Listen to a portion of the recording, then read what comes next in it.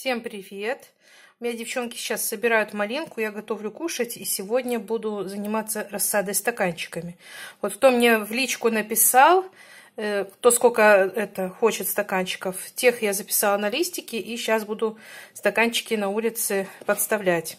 Так, а эта малинка, девчонки сейчас принесли, это Даша нас собирала, я взвесила здесь 600 грамм.